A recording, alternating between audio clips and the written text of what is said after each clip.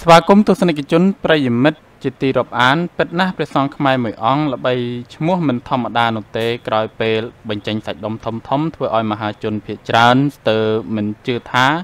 ជាព្រះសង្ឃខ្មែរហើយក៏មិនមែនជាព្រះសង្ឃ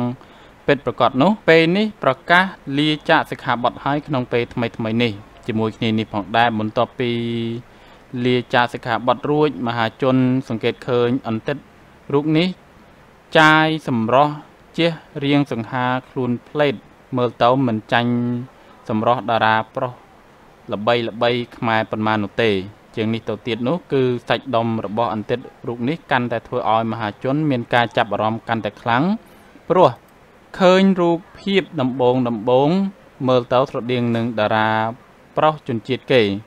គូបញ្ជាក់ផងដែរថា កាលពីពេលថ្មីថ្មីនេះទំព័រ Facebook ផ្ទាល់ខ្លួនរបស់អន្តិតរូបនេះបានបង្ហោះក្តែងក្តែងយ៉ាងដូចនេះថារីករាយថ្ងៃខួបកំណើតខ្ញុំ Happy birthday to me ខ្ញុំប្រកាសណាខ្ញុំបាទបានលាចាកសិក្ខាបទហើយ សូមទានជ្រាបតកតងជាមួយនឹងអត្ថបទសារព័ត៌មានខាងលើនេះជាដល់ទីបញ្ចប់ហើយអរគុណចំពោះការតាមដានរបស់ប្រិយមិត្តអរគ្នានៅអត្ថបទសារព័ត៌មានមួយនេះ គណៈពេលនេះខ្ញុំបាទសូមជម្រាបលានិងវិលជួបប្រិយមិត្តអរគ្នានៅអត្ថបទសារព័ត៌មានថ្មីៗក្រោយៗជាបន្តទៅទៀត